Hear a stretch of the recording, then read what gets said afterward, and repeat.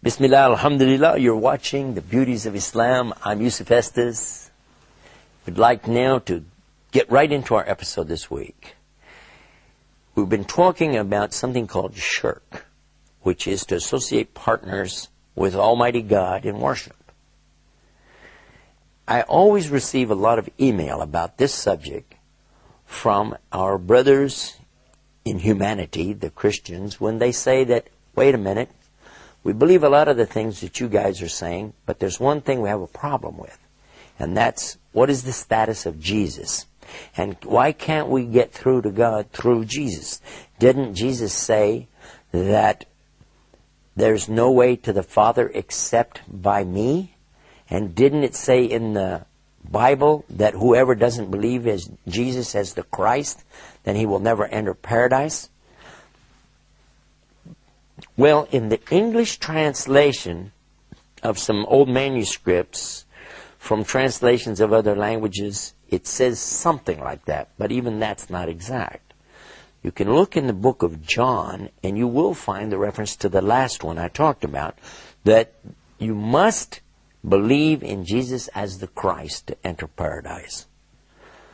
But here's the thing about that. What does that mean to you? If you think that Jesus being the Christ means he's also God, and that's the way to God, then this is really a strange thing to come up with. Because basically, you've missed the point of what the Christ really is. The word itself is a Koine Greek word. It's not Hebrew. And it's not Aramaic. It's not the language of Jesus. It's a translation. It comes from the word in Greek, Christos, and Christos is a translation of the word that was being said literally in the Old Testament, Messihi, which we as English speakers usually mispronounce and we say Messiah. But in fact it is Messihi. And you can find that in Hebrew in the dictionary. You can find it in Arabic in the dictionary, same word. And Messihi means the one who was chosen. He's the chosen one, chosen by God. But the word itself means that this is a process or a procedure that was done whenever the children of Israel would appoint a king. When they appointed a king to let everybody know this is our king, they would assemble everybody together for what was called the Grand Assembly. They brought everybody together. And then there, in front of all these people, they would do this ceremony where they would take a vessel full of zaytun oil. Okay, that's olive oil. Put the fingers in there. The high priest would put his fingers into the olive oil, and then he would anoint the head of the new king. And by putting that olive oil, wiping this like that, they would say that he is now what? The one who has had mess on his head. This mess, not mess like messy, okay? But it means to wipe something. This act that I'm doing here, this is called mess, to wipe. And this is what they did. And that's why it says Messiah. So if you believe that Jesus is the one who is appointed, anointed to be the king of the children of Israel, then you have believed in the Quran because that's exactly what the Quran tells us. We have no problem with that. We understand that. It says in the Quran that he is the Messiah, Isa ibn Maryam. He is the Messiah, the Christ, the son of Mary. So we have no problem with this because, in fact, it's our belief, without a doubt.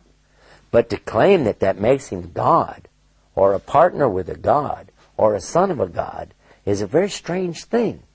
And there's no evidence not from the text, and really not from common sense either. Especially when you consider this. I want to refer to another verse. When Jesus is talking to the people in the older manuscripts, you can find this. He's saying, and you might find a reference to it in some of the translations today in English, in the book of Matthew, chapter 5, verse 17, something like this, where he says, don't think I came to destroy the Torah. It's sometimes translated as law, capital L A W. I came not to destroy the Torah or the law, but rather uh, and the prophets. He didn't destroy their teachings of the prophets, but rather I came to fulfill. And not until all things are accomplished shall a single dot, jot, iota, tittle, and be in any wise lessened from the law. I use those words because it depends on which translation you have is what you're going to find. But a dot or a tittle or an iota, these were the smallest letters or the smallest markings. An iota is like the smallest letter in the Koine Greek alphabet. So if you had, for instance, the Hebrew, now today they have Masoretic text, and if you found the letter Shin, you'll find it has a dot over it. If you find the letter seen, it has a dot on the opposite side. In the, in the Arabic language, if you look, you'll find a letter called seen. Looks kind of like a W with a big tail. And then if it has no dots, this is seen. But if it has three dots over it, that's Shin. Now, if you said, well, what's that got to do with our subject? Well, those dots are exactly what we're talking about. None of it's going to change from God's law. What came with these scriptures, what came with these prophets, is not to be changed by anybody. And whoever, I'm going to go back to the verses now, and whoever breaks the least of the commandments of God and teaches this, he will be the least in the kingdom. But whosoever keeps these commandments and teaches this, he'll be the highest in the kingdom. And unless your righteousness exceeds that of the Pharisees, the Pharisees were the leaders of the Sanhedrin or the temple at the time, unless your righteousness is more than theirs, you won't even go to paradise. Now that's a lot that I gave you right there, and I'm going to come back right after the break now and I want to show you how this compares to what we understand from the Quran and the teachings of Muhammad. So sit right there for more beauties of Islam. Well, we're back with more beauties of Islam. If you missed the first part of it, just in summary, what we were talking about is some verses that we had found in the Bible talking about the law or Torah is forever going to be in effect. The commandments of the Torah are going to be forever in effect. This is according to the New Testament, claiming that the Old Testament is still in effect. I'm using that because of the basis of what I'm going to tell you next. There are those who say that the New Testament makes claims that are not in the Old Testament. If that's true, then whoever is saying this is negating a statement in the New Testament itself. And whoever says God has a son, our subject, by the way, is not worshiping Jesus, but worshiping the one that Jesus worshiped. That's what we're basically trying to get across in this episode. But whoever says God has got a son and need to worship his son has got a serious problem because if you go back and look in the Old Testament, in the part that's attributed to Moses, you'll find one of those five books called Numbers because they used to number the people for census. And in the book of Numbers, chapter 23, verse 19, it states clearly God is not a man that he should sin. And God is not the Son of Man that he should repent. Now, somebody might say, well, that doesn't prove Jesus isn't God. okay. let's consider this. If Jesus is God, or if he was God, or part of God, then here's a question for you. Why would he pray to God?